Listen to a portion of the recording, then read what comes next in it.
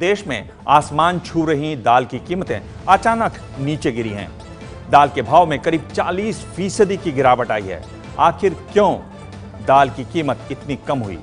इसका जवाब जानने के लिए एबीपी न्यूज़ संवाददाता उमेश कुमावत ने पड़ताल की।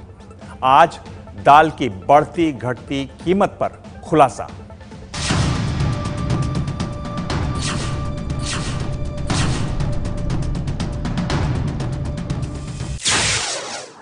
पिछले चार दिनों से दालों के बाजारों में हड़कम मचा हुआ है क्योंकि दालों की कीमतें अचानक से घट गई है और करीब 40 फ़ीसदी दालों की कीमतें घट गई है। हम इस वक्त वाशी के एपीएमसी मार्केट में हैं।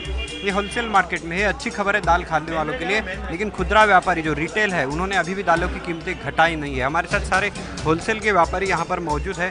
क्या वजह है दालों की कीमतें अचानक से घट गई? अच्छी बारिश। सबसे बड़ी वजह अच्छी बारिश। आने वाले दिनों में जो नवंबर में माल आने वाला है, वो बहुत अच्छा आएगा। वो घबराहट की वजह से भाव घट रहे हैं। लेकिन तुअर दाल तो आने में अभी काफ़ी तीन महीने का वक्त है फिर भी इतने दाम क्यों घट गए? जो 135 थे वो 70 80 तक हो गए। इम्पोर्टेड मालों का स्टॉक ज़्यादा है। गवर्नमेंट खुद के पास हज़ारों टन की तादाद में माल पड़ा है तो गवर्नमेंट को भी निकालने की जल्दी रहेगी। इस वजह से लोगों को लग रहा है कि गवर्नमेंट अगर जल्दी में माल बेचेगी कम करके तो हमको भी हमारा माल निकालना चाहिए। इस वजह से जो स्टॉकिस्ट है, जो लातूर, अकोला, उदगीर, वहाँ के लोगों की जो थोड़ी थोड़ी स्टॉक है, वो अपनी घबराहट की वजह से माल का निकाल करने के मूड में है। सुना आपने? दालों के जमाखोर अब बाज़ार में दाल उतार रहे हैं। इसलिए आ गई है दालों के दामों में ज़बरदस्त गिरावट।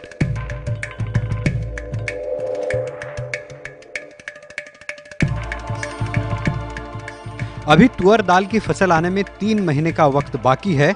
नई दाल मार्केट में आई नहीं तो फिर कैसे घट गए दालों के दाम? और वो भी 40 फ़ीसदी तक। सुनिए खुद व्यापारी बता रहे हैं वजह। नए मौसम के हिसाब से नए बारिश सब ठिकाने अच्छे हिसाब से जिसके पास थोड़ी थोड़ी थोड़े थोड़े भी स्टॉक है। यानी एक दो गाड़ी एक दो गाड़ी सब निकाल रहे हैं। अगले दो महीने में नए तुअर आई नए तुअर दाल आएगी इस वजह से सब गिरा है। इसका मतलब तो साफ़ है कि बड़े व्यापारियों के पास दाल मौजूद थी लेकिन वो बाज़ार में नहीं दिख रही थी।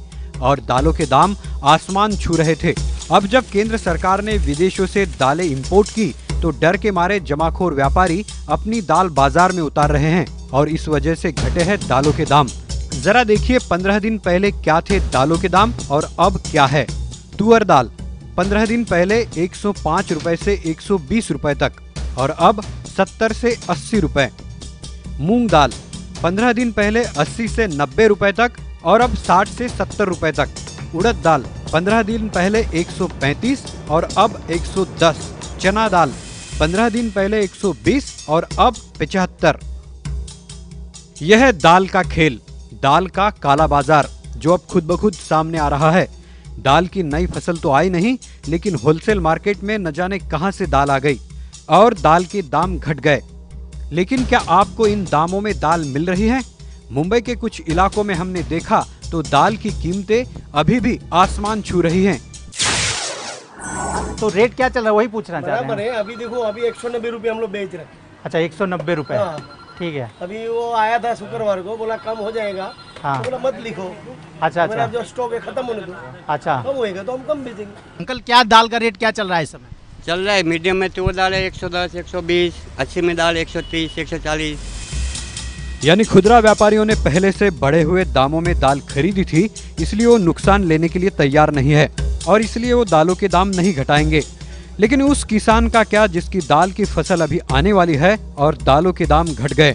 पिछले साल से अब तक दालों को अच्छे दाम मिलने से महाराष्ट्र और कर्नाटक समेत देश के कई किसानों ने दालों की ज़्यादा बुआई की। लेकिन अब फ़सल आने का वक्त हुआ तो दालों के दाम गिरने लगे।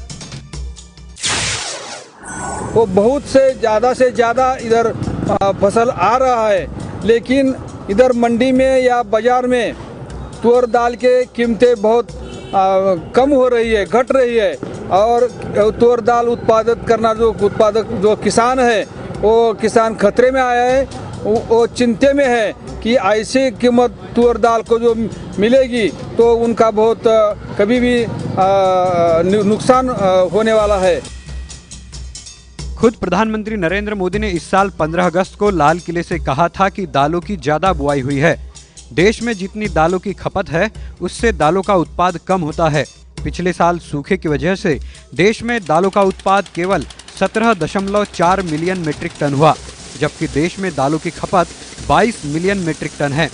इस कमी की वजह से हर साल दालों के दाम बढ़ते हैं और हमें कनाडा, म्यांमार अफ्रीका और ऑस्ट्रेलिया से दाल इंपोर्ट करनी पड़ती है। लेकिन इसी कमी का फ़ायदा उठाते हैं व्यापारी, जिसका अब पर्दाफाश हुआ है। देश भर में दाल की कीमतों में भारी गिरावट आई है।